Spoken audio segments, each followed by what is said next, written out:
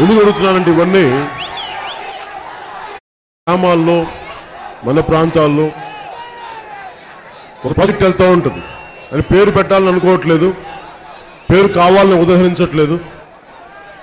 ఇచ్చాపురం నుంచి శ్రీకాకుళం నుంచి ఏ మూలకి వెళ్ళినా అనేక సాగునీటి ప్రాజెక్టులు వెళ్తూ ఉంటాయి.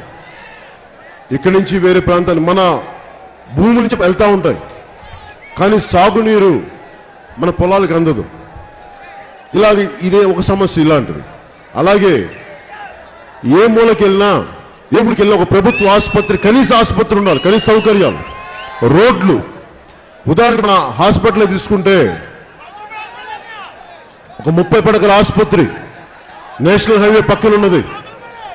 నువ్వు రెండు వందల యాభై మంది పేషెంట్లు వస్తారు మన దగ్గరికి. యాక్సిడెంట్స్ వచ్చే అవుతారు ఎంత దారుణం అనిపించిందంటే మన పత్తిపాడు పరిస్థితి ఉంటా ఉంటే తల్లి బిడ్డల విభాగం కూడా మూసేశారు.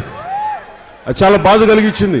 తల్లి బిడ్డల విభాగం మూసేసి ఇంకేదైనా పెద్దపాటి జబ్బు వస్తే వెళ్ళి కాకినాడ గాంధీ హాస్పిటల్కి వెళ్ళాలనే పరిస్థితి.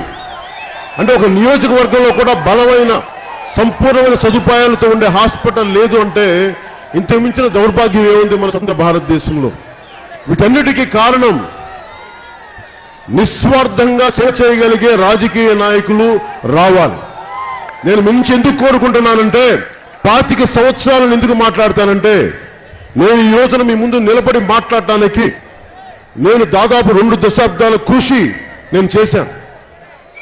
ఒక ఐదు సంవత్సరాలు కనిపించకుండా ఒక పదిహేను సంవత్సరాలు మీకు కనిపించేలాగా. అలాంటిది నేను నా ఆఖరి శ్వాస వరకు మన సమస్యల మీద చాలా బలమైన సుపరిపాలన మీకు అందించడానికే నేను మీ ముందుకు వచ్చాను. అది అందరూ నన్ను ముఖ్యమంత్రి ముఖ్యమంత్రి అంటే? నేను మించి కోరుకునేది కూడా చెప్తాను మీలో శక్తి చెప్తాను.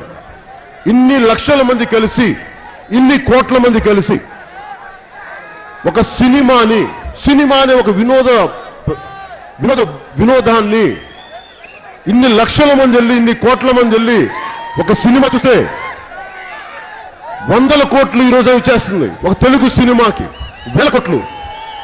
అలాంటిది ఇన్ని కోట్ల మంది ఇన్ని లక్షల మంది యువత మీరు బలంగా కానీ జనసేనకు నిలబడితే మీరు ఓట్లు రిజిస్టర్ చేయించుకుని జనసేనకి ఓటేస్తే మీకు ఎందుకు సామాజిక మార్పు రాదో నేను తెలియజేస్తాను మీకు నేను ప్రూవ్ చేస్తాను For more updates, please subscribe 99 TV Telugu.